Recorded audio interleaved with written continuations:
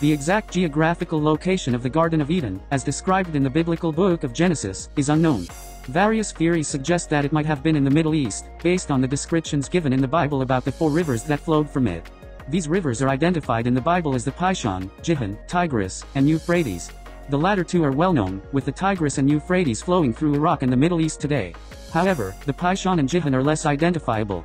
In the Garden of Eden, Adam and Eve had everything they needed, but they were given one commandment by God, they could eat from any tree in the garden except for the tree of the knowledge of good and evil. However, tempted by a serpent, Eve ate the fruit from the forbidden tree and gave some to Adam who also ate it. This act is referred to as the fall of man in Christian theology, as it led to their expulsion from Eden as punishment. Some theories propose locations in Iraq, Iran, Armenia, or Africa, amongst others. However, these are all speculative. From a theological perspective, many consider the Garden of Eden as more of a spiritual than a physical place. As such, its exact location remains a mystery, and the subject of much debate and interpretation.